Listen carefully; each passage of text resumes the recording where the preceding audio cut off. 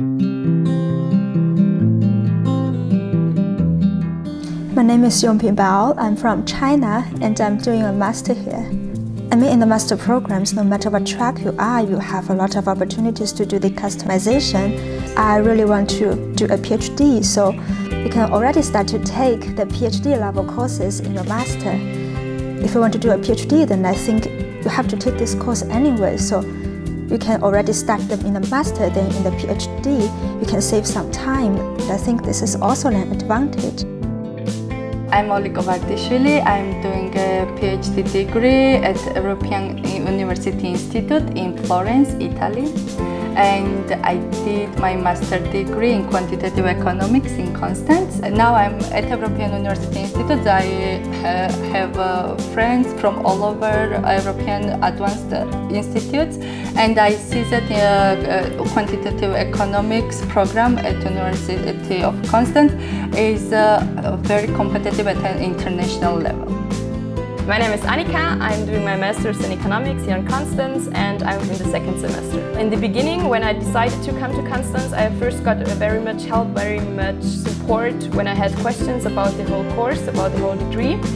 And also, especially my first semester, which was um, a lot of work, uh, we had a lot of uh, doctoral students that helped us and all of our professors were very helpful when we had questions. We could always come to their office and um, yeah, clarify some things was very helpful. In addition, we have a buddy program here, which is uh, students from higher semesters, usually they are in the second year.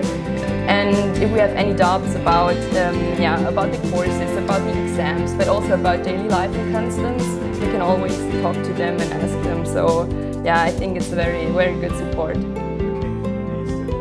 My name is Andrea and I'm a student of economics and I really like to study here because it offers a variety of activities for example, sport activities and sport trips.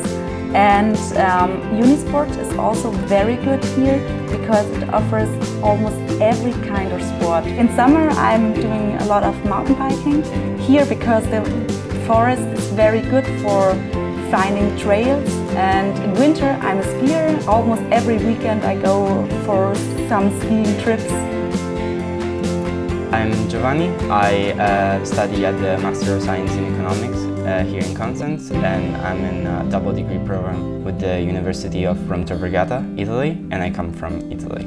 There's a great number of international students and I think this is also makes it um, what uh, really makes the experience for me worthwhile and why I had so much fun because all my friends are uh, actually international students um, I mean, some are German, but many of them come from uh, everywhere from Europe, America, and I think it's a key thing in, uh, in my experiencing Konstanz.